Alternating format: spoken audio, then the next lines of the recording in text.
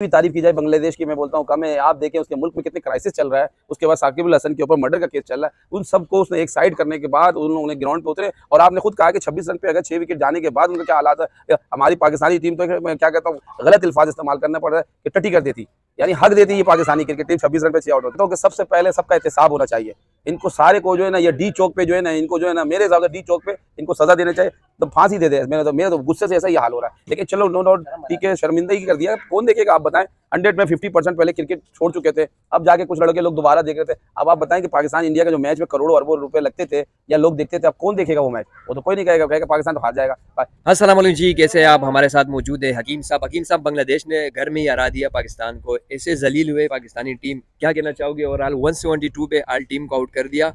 सिर्फ़ और सिर्फ़ 185 का टारगेट दिए अब जो है, बांग्लादेश चेस पे गए थर्टी सेवन रन बना दिए उन लोगों ने क्या कहना चाहोगे इस परफॉर्मेंस से? बिस्मिल्लाम सबसे पहले तो इंतहाई दुख की बात है, बहुत अफसोस की बात है कि काफ़ी डिसअपॉइंट किया कि एक बांग्लादेश जैसी क्रिकेट टीम और जिसे हमने टेस्ट कैप दिलवाया था और किस तरह दिलाया था वो तो पूरी दुनिया जानती है। लेकिन उस टाइम तो चलो हमने दिलवाया था, उन्होंने जश्न मनाया था। लेकिन आज आप देखें, बांग्लादेश किस मुकाम पे पहुँच गया? बांग्लादेश के मुल्क में, अपने उसके मुल्क में इतनी परेशानी आई हुई है, लोग आवाम जो है कोई कोई उनका हुकूमत नहीं है और परेशानी के बाइस भी वो आके हमें अपने ग्राउंड अपने घर से आके हमारे घुस घर में घुस कर हमें मारा।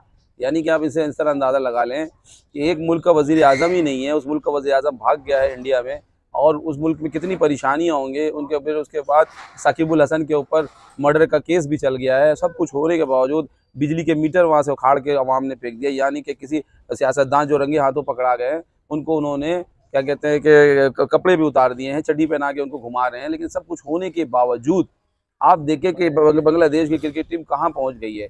पहला हमें मैच हरा दिया, जबकि वो पहले मैच में हमने जो, सही मायने में जो आपका मैंने रिसर्च किया उस पर पूरा तजिया लगाया तो उसमें मुझे यही महसूस हुआ है कि अगर हम उसको रिजवान को 200 बनाने देते तो क्या जाता? एक हमारे मुल्क का तो ये समझ में नहीं आता जो आज तक नेगेटिव पॉजिटिव चलते जा रहा है कि आप देखें शान मसूद जो टीम में ही नहीं था, अचानक उसको उठा के हम कैप्टन बना देते हैं। ये तो पाकिस्तान का एक मैार है, ये क्वालिटी है। ये मतलब ये किसी भी मुल्क में आप देखें, एक लड़का परफॉर्मेंस देता है, उसके कितने अरसे के बाद जाके उसको चांस मिलता है डोमेस्टिक क्रिकेट खेलने के बावजूद। आप देख ले ऑस्ट्रेलिया क्रिकेट टीम में उस्मान ख्वाजा आपके सामने है कि आप उतने अरसे से खेल रहा है और परफॉर्मेंस दिए जा रहा है। उसके बावजूद आज तक उसको कैप्टन नहीं बनाए लेकिन जिस टीम में जगह ही नहीं है शान मसूद का आप क्या कहते हैं उसको कप्तान बना दिया? क्या उसके बाप बैंक का मैनेजर था? है? इस वजह से बना दिया। या कोई लाइट बैंक का कोई मालिक था? क्या था भाई? ठीक है मैंने तो समझा पर्ची तो पता है मुझे। लेकिन देखिए एक कैप्टन उसी को बनाया जाता है जो अहल रखता है। ना अहल बंदे को आपने कैसे बना दिया? छह आउट थे बांग्लादेश के छब्बीस पे छह? आउट के बावजूद उन्होंने छब्बीस से लेकर टू सिक्सटी फाइव बना दिया तो ये जो आपने कहा टू सिक्सटी फाइव मैंने क्या कहा? वो अपने मुल्क के लिए खेल रहे हैं। अब आप अंदाज़ा लगाए ना, हमारे क्रिकेट, हॉकी तो तबाह बर्बाद हो ही गया है। एक बार हमने 94 में शायद वर्ल्ड कप जीता था तो जीता शहबाज सीनियर के टाइम पे आदत में। अब उसके बाद आप देखिए जानशेर खान, जहांगीर खान स्क्वाइश में हम दुनिया के नंबर वन थे। आज स्क्वाइश का क्या हुआ? कुछ भी नहीं हुआ, पता ही नहीं हम लोग कहाँ स्क्वाइश में। एक जीवलन थ्रू अरशद नदीम ने ला के गोल्ड मेडल दे दिया तो भाई बहुत शुक्रिया उसका कि उसने कर दिया। लेकिन अफसोस कर, काफ़ी डिसअपॉइंट किया है। ना चाहते हुए भी आपको मुझे वो इंटरव्यू देना पड़ रहा है कि देखिए, ऐसे थोड़ी चलेगा आप टूर्नामेंट देखें आप। अब इस तरीके से आप करेंगे तो मेरे तो हिसाब से मैंने पहले ही कहा था, जो पाकिस्तानी क्रिकेट टीम के स्ट्रक्चर है, ये स्ट्रक्चर मुझे समझ नहीं आ रहा। ये सिर्फ़ खिलाड़ियों को चेंज करने से नहीं होगा। ये आप जो है सबसे पहले नीचे से लेके ऊपर तक, ऊपर से लेके नीचे तक, आप देखें चेयरमैन क्रिकेट बोर्ड अगर कोई टूर्नामेंट हो रहा तो वो भी जा रहे हैं, उनकी फैमिली भी जा रही है। सारे खिलाड़ी ऐसे मैच खेलने जा रहे हैं, जैसे लग रहा है पिकनिक मनाने जा रहे हैं। भाई, सब सख्तियाँ होनी चाहिए। फैमिली को किस बात के बिना पे आप दे रहे हैं? साठ साठ लाख रुपए तनख्वाह दिया जा रहा है। हमारे मेंटोर को पचास पचास लाख रुपए तनख्वाह दिया जा रहा है। तीस से पैंतीस, पता नहीं, मेंटोर वगैरह, कोच, मोच के लाइन से तो हमारे पास बंदे जितने का, ये ये सब पैसे कहाँ से जा रहे हैं? ये हमारे आवाम के पैसे हैं। ये टैक्स, अहमद शहजाद ने जो एक बात कही है, बिल्कुल सही कही है कि अगर उसको तो पता है इसको आगे चल के उसको नहीं खिलाएँगे, ना मेंटोर बनाएँगे, ना बीपीएल खिलाएँगे उन्हें पीएसएल खिलाएँगे। लेकिन कहने का मकसद ये है कि अगर अहमद शहजाद कह रहा है तो सच कह रहा है। दबंग से बातें कर रहा है वो। जो भी बात कह रहा है, सच कह रहा है। और सच सुनने का अब उनको मौका होना हाथ में होना चाहिए। ऐसा नहीं हो कि वो देखिए हमेशा सच कड़वा होता है और जो कड़वा सुनने के हक है मेरे तो हिसाब से क्रिकेट अभी उस दिहानी में जली गई है जो मेरे ख्याल से शायद हमारी क्रिकेट ख़त्म है जब आप देखें बाबर आज़म करोड़ों रुपए तनख्वाह लेके और एक टेस्ट में ज़ीरो पे आउट हो रहा है किसी में ग्यारह रन बना दो हज़ार तेईस से लेके 2024 तक उसकी परफॉर्मेंस आप बताएँ क्या है? मैंने पहले ही कहा था जब ओ डी का पहले राउंड में हम बाहर हो गए थे हमने कहा पूरे लड़कों को फारिग किया जाए लेकिन हमारे बातों को कोई नहीं लिया आप देखिए इंडिया की क्रिकेट टीम कहाँ से कहाँ पहुँच गई। हम इंडिया से फिटनेस चेक करो हकीम साहब हमारे फिटनेस खिलाड़ियों में फिटनेस ही नहीं है। तो फिटनेस कहाँ से आएगा? देखो साई मयूब अगर वो टी टेन टी ट्वेंटी का लड़का है आप उसे टेस्ट खिला रहे फिर भी उसने परफॉर्मेंस दिया है ये बात नहीं देंगे। आप परफॉर्मेंस उन्होंने दिया।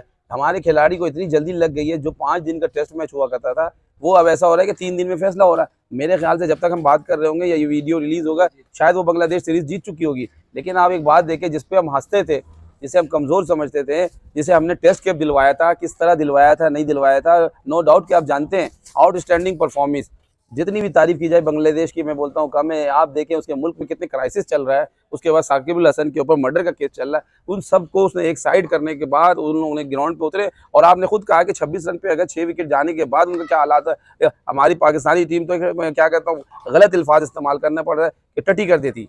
यानी हक देती है पाकिस्तानी क्रिकेट टीम छब्बीस रन पे छः आउट होते। लेकिन आप देखें कि वो जब छब्बीस पे छः आउट होने के बाद आखिर में सिर्फ़ मेरे ख्याल से बारह तेरह या इक्कीस रन के लीड दिया जो नो डाउट कोई स्कोर लीड वीड है नहीं। बहुत अफसोस की बात है। अब हमें तो क्रिकेट देखने का तो दूर देखिए अगर मैं तो कहता हूँ कि सबसे पहले सबका एहतसाब होना चाहिए। इनको सारे को जो है ना ये डी चौक पे जो है ना इनको जो है ना मेरे हिसाब से डी चौक पे इनको सजा देना चाहिए। तो फांसी दे दे। मेरे तो मेरे तो गुस्से से ऐसा ही हाल हो रहा है। लेकिन चलो नो डाउट ठीक है शर्मिंदगी कर दिया। कौन देखेगा? आप बताएँ। हंड्रेड में फिफ्टी परसेंट पहले क्रिकेट छोड़ चुके थे। अब जाके कुछ लड़के लोग दोबारा देख रहे थे। अब आप बताएँ कि पाकिस्तान इंडिया का जो मैच में करोड़ों अरबों रुपए लगते थे या लोग देखते थे, अब कौन देखेगा वो मैच? वो तो कोई नहीं कहेगा। कहेगा पाकिस्तान तो हार जाएगा। कभी ये मैच हुआ करता था तो इंडिया पाकिस्तान का लगता था। अब हमें बांग्लादेश से भी हारना पड़ेगा। अभी हमें अफ़गानिस्तान से भी हारना पड़ेगा। अब हमें आयरलैंड से भी हारना पड़ेगा। अब अमेरिका से तो हम हार चुके हैं। जो टीम पहली दफ़ा खेल रही है, उसको मैच हारे, आने वाले दिनों में क्या होगा, नहीं होगा, ये तो सोचने वाली बात है।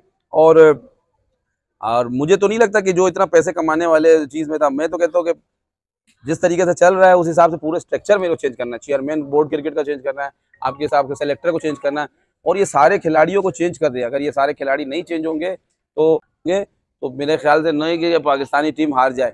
दूसरी बात है पाकिस्तानी टीम से अच्छे तो साठ साठ लाख रुपए तनख्वाह आप दे रहे हैं पाकिस्तानी खिलाड़ियों को। हिसाब से तोसीफ भाई का भी दिल पूरी टीम को चेंज करना होगा और ये चेंज नहीं करना होगा। एक मैच के बाद अगर वो दूसरा मैच में परफॉर्मेंस नहीं देता है, उसका कैरियर बर्बाद। यानी आप जो कहते हैं कि नहीं यार जो कम से कम एक साल खिलाओ, दो साल खिलाओ, कितनी दफ़ा खिलाएँगे उसको? हर बार खिला खिला के पाकिस्तान का नाम तो उन्होंने मट्टी में डाल दिया। हम कहते हैं नाम रोशन करें। यानी वही हम पुराना नाम बार बार याद करें। इमरान खान, वकार यूनुस, सईद अनवर, सलीम मलिक जावेद मियादाद, बस वही मुदसर नज़र। मतलब वही बात बार बार उससे बेहतर तो ये सब बड़े बड़े जहीर अब्बास हो गए, सर डॉन ब्रेडमैन हो गए। आप देखें पाकिस्तान के देखे टीम को ये हालात हो गए। मुझे तो ऐसा लगता है कि अगर ये 20 साल का बैंड कर दे साउथ अफ्रीका के खिलाफ तो साउथ अफ्रीका को जैसे 20 साल का बैंड किया था अगर इसको बैंड कर दे तो नो डाउट के पाकिस्तानी आवाम में पब्लिक में खुशी हो जाएगी। लेकिन मुझे बहुत दुख हुआ है कि मेरे हिसाब से पाकिस्तानी पब्लिक तो क्रिकेट का बाइकाट कर देगी।